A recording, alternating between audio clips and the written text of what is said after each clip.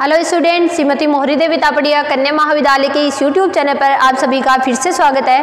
आज का जो मेरा टॉपिक है, वो है simultaneous equation in fraction form आज इतने दिनों तक अपन जो पढ़ रहे थे साइमल्टेनियस इक्वेशन नॉर्मल इक्वेशंस की फॉर्म में दी हुई थी। अपने को दो इक्वेशंस गिवन होती थी और उनकी हेल्प से अपन जो वेरिएबल्स थे, उनकी वैल्यू को अपन फाइंड आउट करते थे। अब जो है, वो अपने को यहाँ पर जो साइमल्टेनियस इक्वेशन होगी, वो किस फॉर्म में दी हुई होगी? फ्रैक्शन फॉर्म यानी यानी भिन्न के रूप में गिवन होगी और उसको अपने को यहाँ पे सॉल्व करके आंसर को फाइंड आउट करना होगा। ठीक है? तो फ्रैक्शन फॉर्म में देखिए, पहले तो इसको आप दिखाने का तरीका देखते हैं। फ्रैक्शन फॉर्म में ये इस तरह से गिवन होगी। D one D X by P equals D Y by Q और डी जेड बाई आर इस तरह से ये वैल्यू जो है वो अपने पास में गिवन रहेगी और अपने को इसका आंसर जो है, वो वैल्यूज़ जो है, वो अपने को यहाँ पर फाइंड आउट करनी होगी। जो एक इक्वेशंस होती है इक्वेशन की फॉर्म में जो है, वो इसके आंसर को निकालना होगा। अगर ये इस तरीके से नहीं देके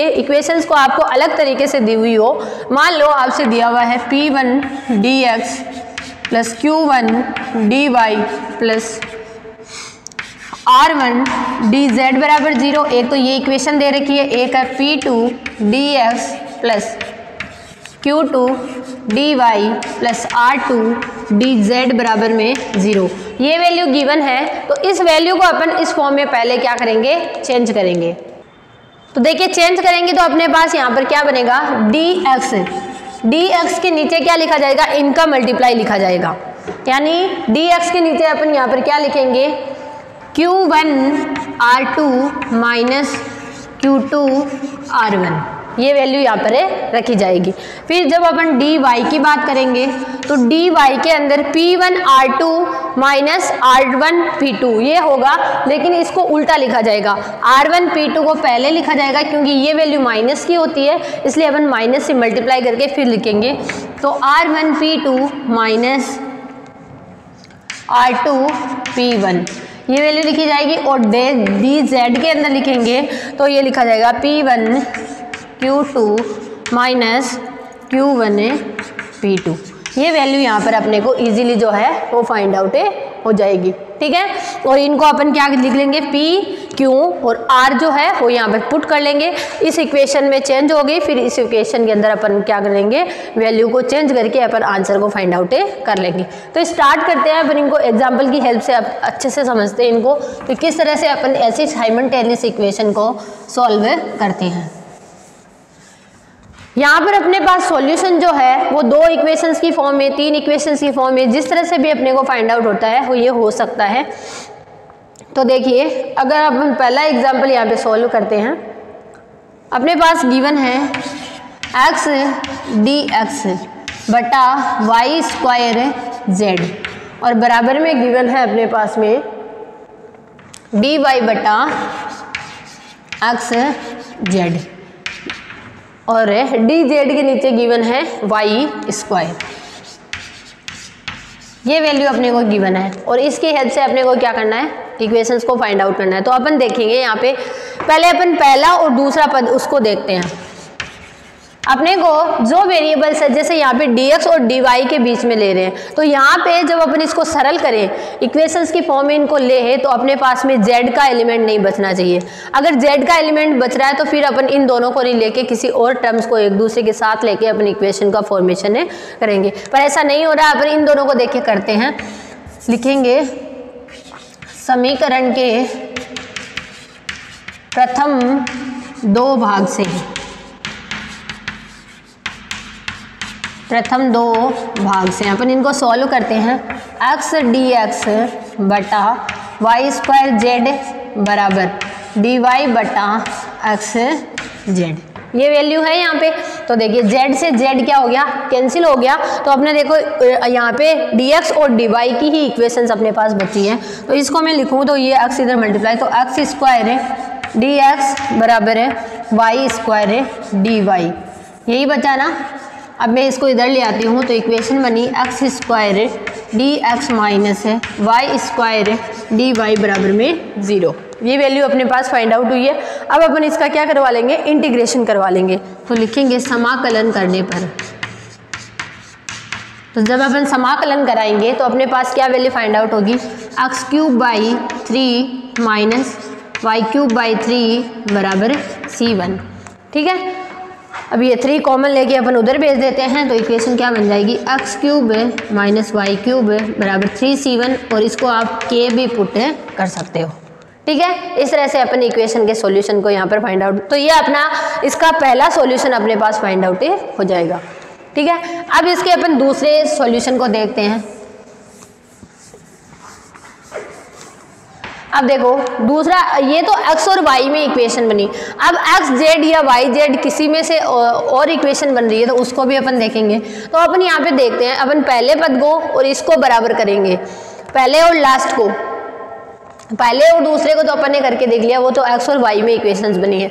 इन दोनों को जब अपन एक जगह करेंगे तो ये दोनों एक दूसरे को कट नहीं करेंगे। एक्स और वाई के एलिमेंट्स भी यहाँ पर बच जाएँगे तो यहाँ पे सॉल्यूशन फाइंड आउट है, नहीं होगा। तो मैं क्या करती हूँ, इसको और इसको बराबर करती हूँ। तो लिखते हैं, समीकरण के प्रथम व अंतिम भाग से।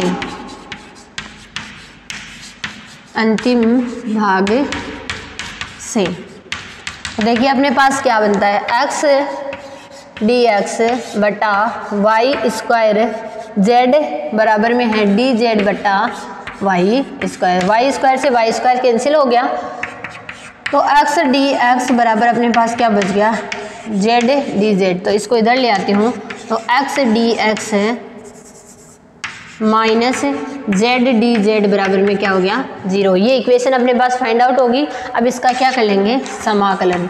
तो लिखेंगे समाकलन है करने पर तो समाकलन करेंगे तो यहाँ आएगा X square by two minus Z square by two बराबर सी टू तो इस टू को उधर ले जाते हैं तो x square minus z square बराबर टू सी टू यानी इसको कोई के वन पुट कर देते हैं। इस तरह से अपने पास में यहाँ पर जो दो इक्वेशंस है, यहाँ पे x cube minus y cube वाली और एक ये जो इक्वेशंस है, ये दोनों मिलाकर जो दोनों इक्वेशंस होगी, वो इस इक्वेशन का क्या हो जाएगा? सॉल्यूशन के फॉर्म में अपने को फाइंड आउट हो जाएगा। इस तरह से अपन कोई भी जो इक्वेशन है, उनको ईजिली यहाँ पर सॉल्व कर सकते हैं। अब एक और एग्ज़ाम्पल की हेल्प से इसको अच्छे से समझते हैं। कि किस तरह से ये आगे सॉल्व हो सकता है। अगर क्या इसमें एक सॉल्यूशन भी पॉसिबल हो सकता है क्या? तो इसमें देखिए।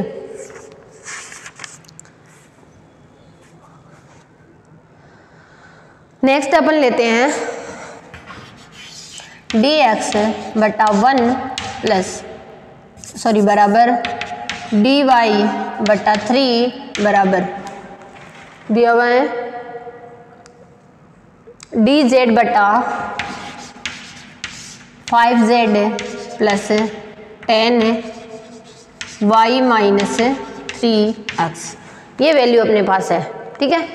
तो अपन देखिए, इसमें पहले दो टर्म तो अपने को बराबर करने ही है। तो समीकरण के प्रथम दो भाग से। पहले तो यही करेंगे।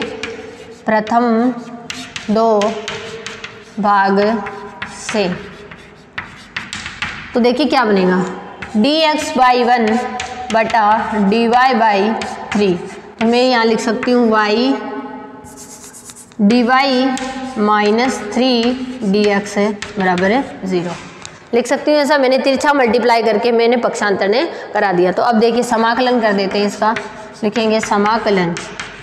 तो जब समाकलन करेंगे तो यहाँ आएगा वाई इधर माइनस आएगा थ्री एक्स बराबर में सी कांस्टेंट है। आ इसको इक्वेशन नंबर है फ़र्स्ट है, नाम दे देते हैं। ठीक है? अब आप चाहे इसका और इसका ले लो, चाहे इसका और इसका ले लो, इन दोनों में से कोई भी दो भाग ले लो तो मैं क्या करती हूँ? समीकरण के प्रथम व अंतिम भाग से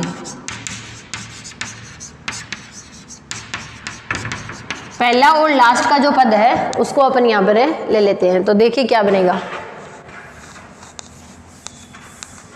अपने पास इसका सॉल्यूशन फाइंड आउट करेंगे अपन तो लिखेंगे डी एक्स बाई वन बराबर। डी जेड बटा फाइव जेड है प्लस टेन है जो y माइनस थ्री एक्स है, उसको मैं समीकरण एक से क्या पुट कर दूँगी? C पुट कर दूँगी। ठीक है? तो कांस्टेंट हो गया ये। अब देखिए, अपने पास क्या वैल्यू बची है? यहाँ पे जेड का जेड ही रहेगा एक्स बराबर डी जेड बटा फाइव जेड है प्लस टेन है सी ठीक है? अब इसका क्या कर देते हैं अपन ने? समाकलन करवा देते हैं। तो देखिए, समाकलन करवाने पर क्या वैल्यू बचती है अपने पास? तो जब अपन समाकलन कराएँगे लिखेंगे समाकलन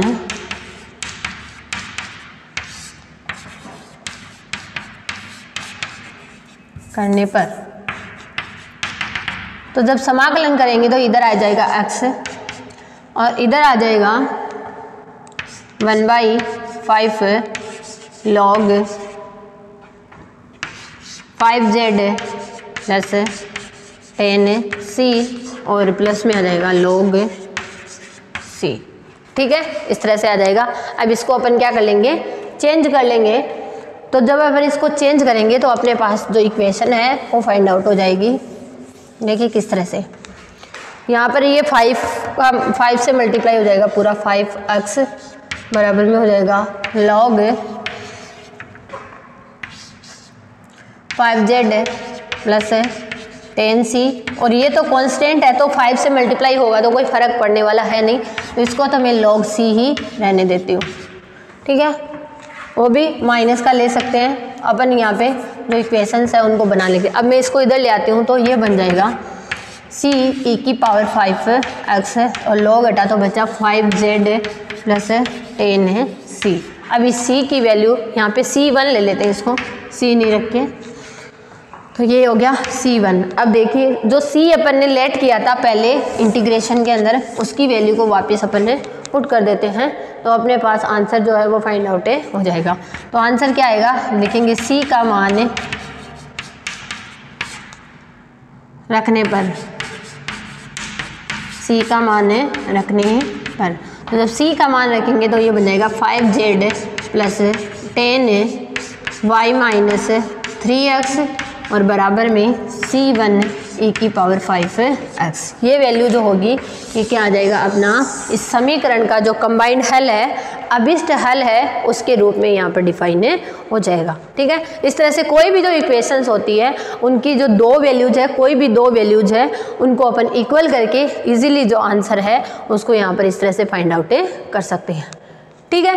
तो साइमल्टेनियस इक्वेशन जो फ्रैक्शन फॉर्म में अपने पास में डिफाइन थी, उनको सॉल्यूशन करने के लिए उनके कोई भी दो जो पार्ट होते हैं, उनको पहले इक्वल करना होता है, उनके समाकलन करने होते हैं। अपने पास यहाँ पर जो सॉल्यूशन है, वो यहाँ पर एक से ज़्यादा अपने पास डिफाइन हो सकते हैं। तो आपको ये ध्यान रखना है कि किस पार्ट को अपने इक्वल करने पर अपने पास एक जो इक्वेशन है, वो सही तरीके से कोई भी दो वेरिएबल के अंदर अच्छे से रीअरेंज होकर प्रतिस्थापित होकर अपने आंसर फाइंड आउट हो सकते हैं। हैं। तो इस तरह से आपको जो है वो, इन टर्म्स को व्यवस्थित करके आंसर फाइंड आउट करना है।